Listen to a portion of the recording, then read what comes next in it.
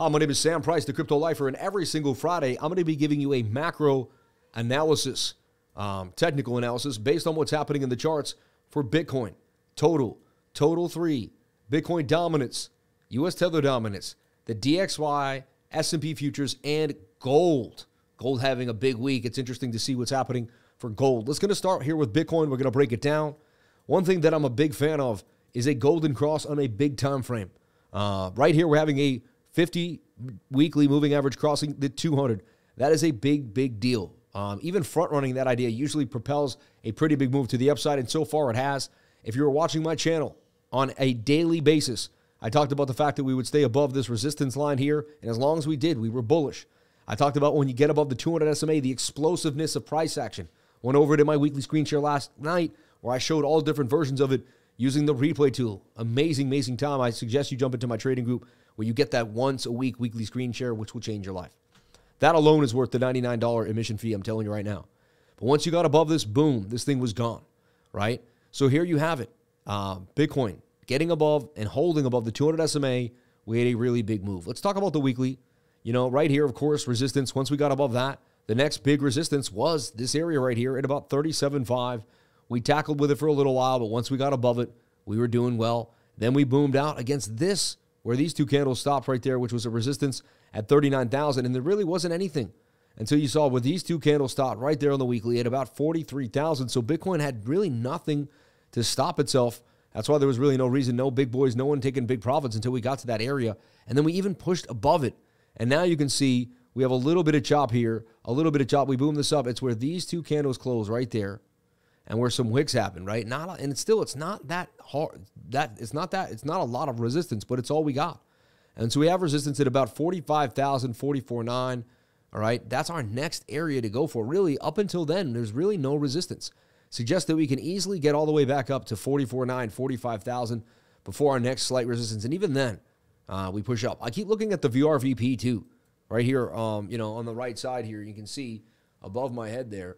And see this gap? We went through it nicely. Boom. See this gap? We're moving through it nicely. We're likely to get to this high volume node here. Sorry, at 47, I can bring this with me. At 47,800, I mean, that's the key. And look, we have another gap here to bring us up to 57,000. And I remember seeing these gaps here when I was at 22, like, oh, we can get to 29, we can get to 30. And all of it has happened kind of as I projected it and saw it. So this tells me that 57,000 isn't even that far away.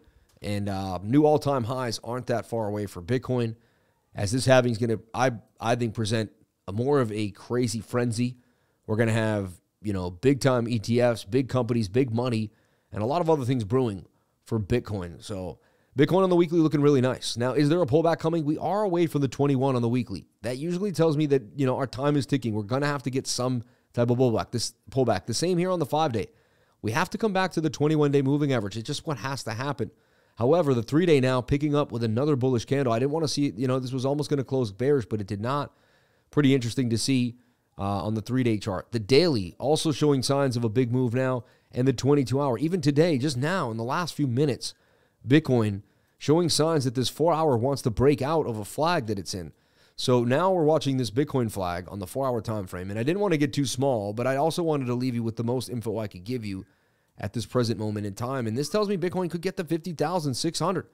I mean, that's the measured move. The smaller measured move, fine, somewhere here at about 47, 46,007. But this is explosive. And right now, you you have legs on the momentum on the indicator, the stochastics.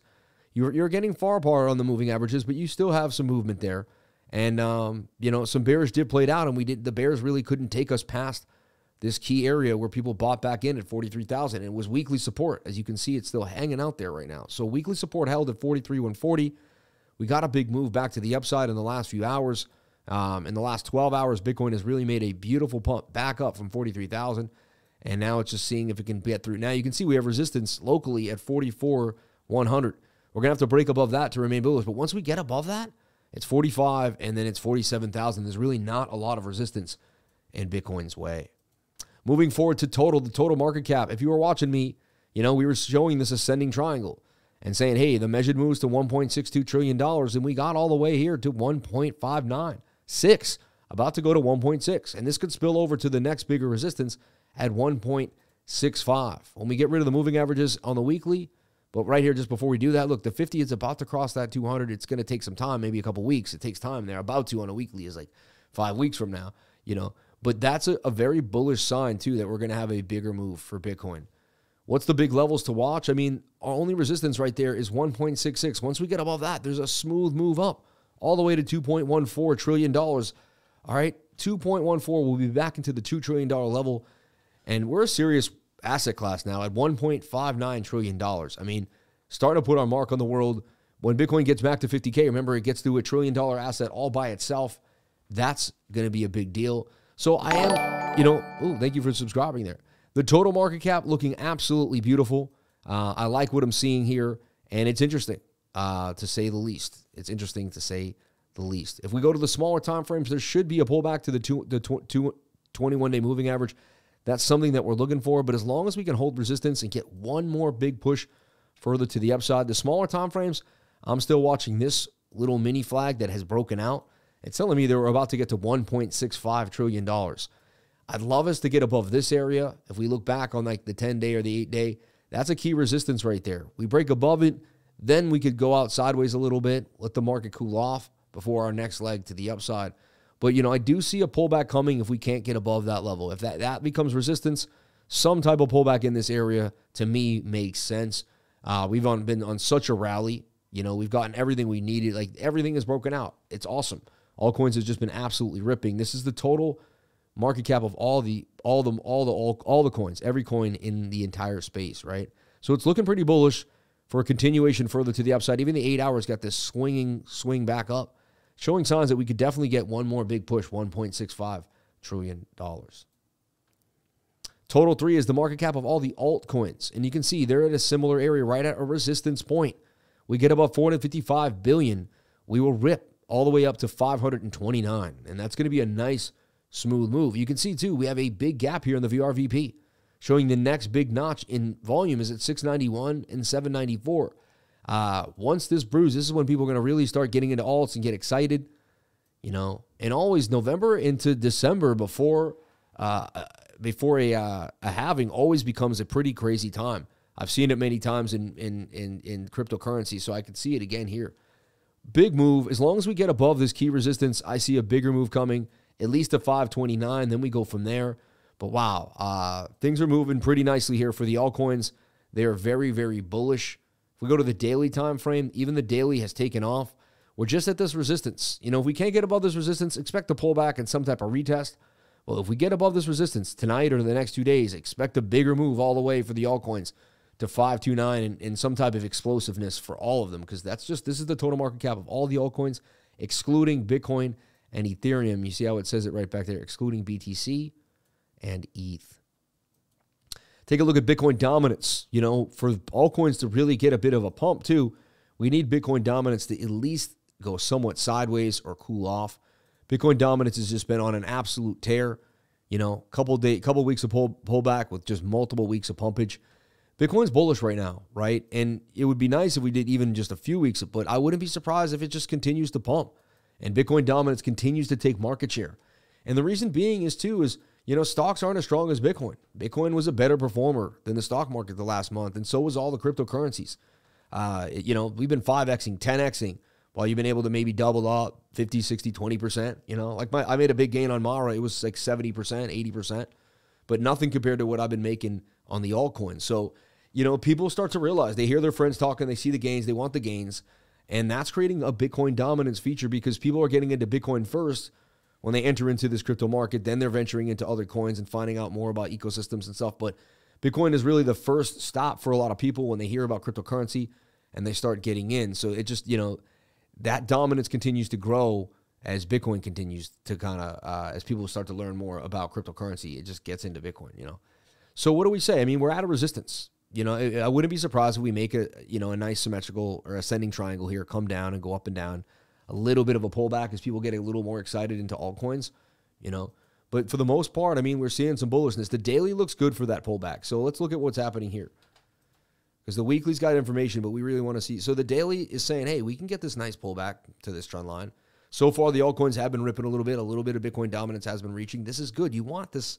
This is when Bitcoin's, you know, all, altcoins rip. So we want this come come down, couple more days. The weekend this is setting up for another weekend pump for the altcoins, right? Because tomorrow, Saturday, you're going to lose some Bitcoin dominance, and boom, oh my gosh, we'll have a nice pump for the alt. So that's a good setup. You want to look for that when you're about to trade, especially on a Friday afternoon. Very, very interesting. US Tether dominance. We mapped it out inside the symmetrical triangle. They usually do break to the downside, even though they're 50 50 patterns. And lo and behold, we did break down. That came with that Bitcoin pump. We lost the high volume node there, knowing that there's a gap. And our next stop would be 458. So far, we are doing that. Also, whenever you lose these moving averages, the 21 and the 80 right here, and the 100, you're going to come to the 200 SMA. I practice this and preach it all the time. You hear it from me every single week if you're watching these weekly macro analysis. So there's your 200 SMA. That's like your, your destination. You pulled the wick here, you know, the length of the back here. Boom. If you go to somewhat of a smaller time frame, you can see that was clearly a descending triangle that wanted to break down. We lost the 200 on the three day and the four, you know, and that's how I knew things were going to get really crazy. We are going to get massive dumpage. So whenever you lose a 200 SMA, and if you flip this upside down, it's just like gaining a 200 SMA. You get a really big pump up. You know, so you want to heed these these moving average crosses on every time frame from the three day up. They're very substantial. This tells me that we have more to go, and this is curving down, and the three day chart should continue to go further to the downside for now. And that means people are going to be, you know, getting into alt. So that's what we want to see. You see how we see Bitcoin dominance? That also wanted to give a bit of a pullback, and so did Tether dominance. That means money is not going to escape the crypto sphere. It's going to stay inside and go into altcoins.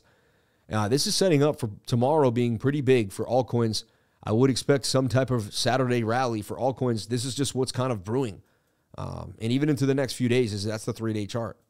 Moving forward to the dollar index. The dollar index had a major resistance at this place where we thought it would at 106.9033. Because resistance, resistance, resistance. It was a long term resistance all the way from 2022, even back here in July of 2022. So we look at now, and you know we're struggling with this this area here. That should be our next resistance, and it is. The dollar has tried to spike up recently. In the last week, it had a little pump up as Bitcoin went a little sideways. But honestly, uh, it's been pumping somewhat with Bitcoin, right? And that can happen. You know, that can happen. The dollar is connected to a lot of other currencies throughout the world. So, you know, if people are bailing on the yen or other things and, and pump the dollar up, that can also have an effect on the dollar, regardless of what Bitcoin's doing. Everyone thinks they're completely inversely correlated, and they are, but there's other factors that uh, affect the dollar. Look at my video here uh, about the DXY. Check it out if you can. It's pretty awesome. So we do see, look, a shoulder, a head, and a right shoulder. We have a previous resistance that we've hit. I'd love to see this one hour, this daily start to fall further back down. Respect this trend line and fall back to the bottom of the trend line. You know, uh, let Bitcoin rise a, bit more. This helps the altcoins. This helps everything from real estate to stock markets because if you're priced in the dollar and you're an asset that can't be made again, and dollar starts to drop, you're gonna make you're gonna go up in value. That's just kind of how it is, right?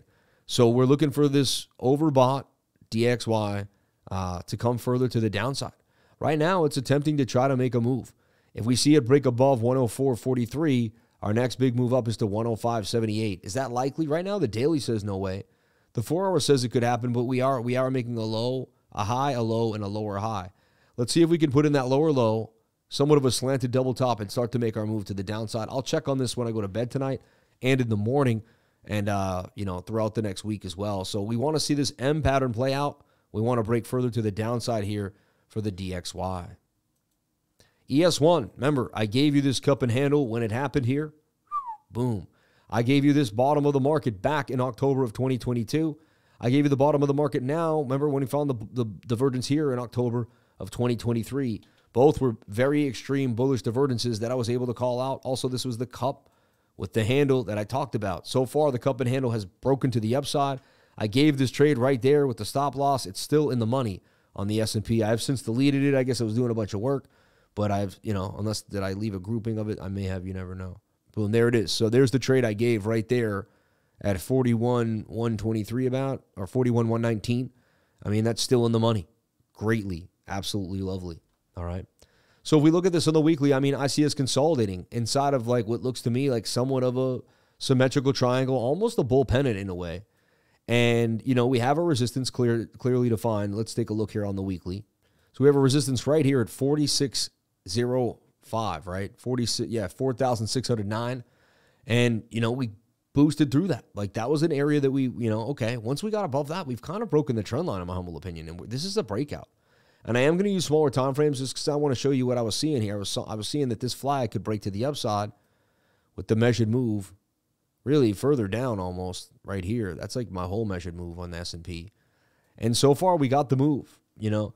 Being a crypto trader, this is so ugly watching price action just like make gaps all over the place, but that's what happens when you trade, you know, the traditional markets. TradFi, horrible. Absolutely horrible. But anyway, uh, the S&P did break out as suggested, almost to the target.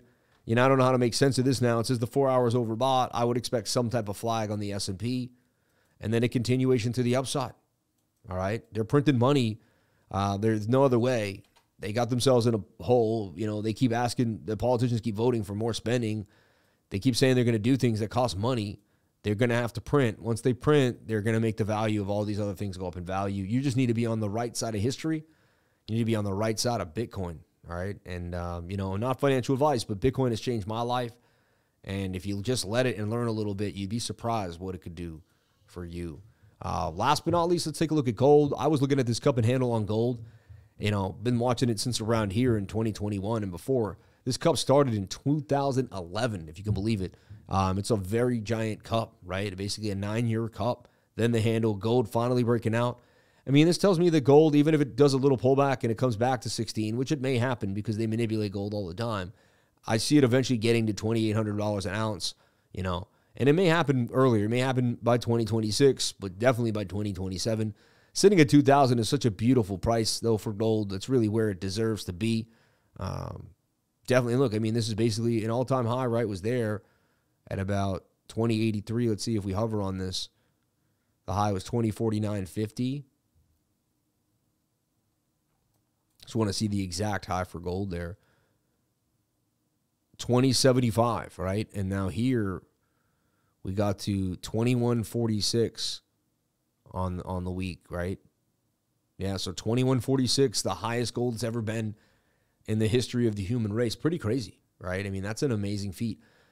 Shoulder, head, right shoulder. And again, gold's going to continue. And we saw this flag that played out, number one. Just want to put that out. But gold's going to continue to outperform. You know what I mean? As they continue to print the dollar. I mean, that's just what happens when you have a scarce asset. We did hit the top of the channel. Do we come back down? Let's see. If gold can break, you know, I mean, that's really no. If gold can break, I guess you could say it broke its resistance. It's almost in price discovery. So now we have to say that's resistance, like right there at about 2138. Just looking for gold to break above that. Once it does, I mean, there's really no stopping it, right? It's going to be in price discovery. And you look for free fall for the dollar and the gold and gold to just continue to pump, right? Anyway, that's your weekly analysis on gold, on S&P futures, on the DXY, on the market cap of Tether. And so that's your let's edit that. And so that's your weekly analysis with gold. And that's it folks, that's your weekly analysis for gold, for S&P futures, for the DXY, for Tether dominance for Bitcoin dominance. For total three, the market cap of all the altcoins, excluding Bitcoin and Ethereum. For total, the market cap of all the altcoins and Bitcoin included, and Bitcoin, which is continuing to pump here at 44,066, making a move out of the four hour falling wedge to the upside. There is a resistance here. If Bitcoin gets above 44,115, its next major resistance is 45,102, and then you're going for 47,681. All right. Everyone, thank you so much for watching. Please comment, like, and subscribe. Hit the bell for notifications. You can find out when I post my next video. And if you came to the channel, then you're already doing the right thing. Crypto is life. If you want to join my trading group and learn more, jump into cryptolifer.com and see for yourself what's going on. I can't wait to see you there.